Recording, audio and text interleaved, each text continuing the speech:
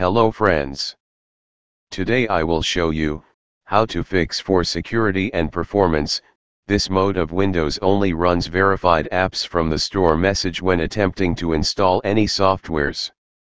Your system working with Windows 10 S mode, Windows 10 in S mode is a more limited, locked down Windows operating system.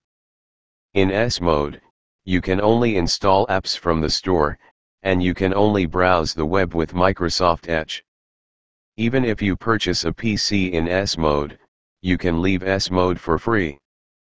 It doesn't cost anything, but it is a one-time decision once you've taken the PC out of S mode, you can never put it back into S mode.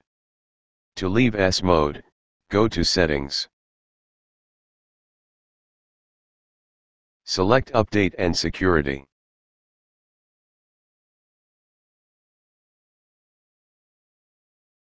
Then select Activation.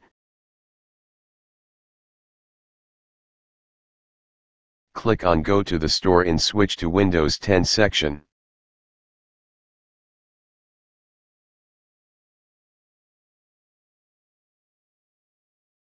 It will open Microsoft Store with Windows switch out of S mode.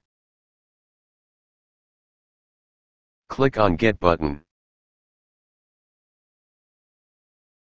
If you have Microsoft account, sign in. Otherwise create it.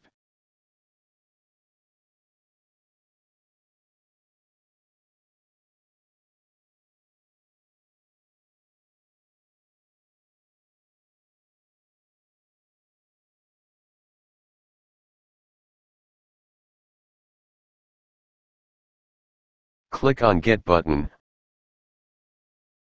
A pop-up window will open, you are all set, click on Close button.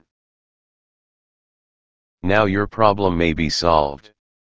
Thanks for watching my videos, subscribe me if you like this channel and please share if you like the video.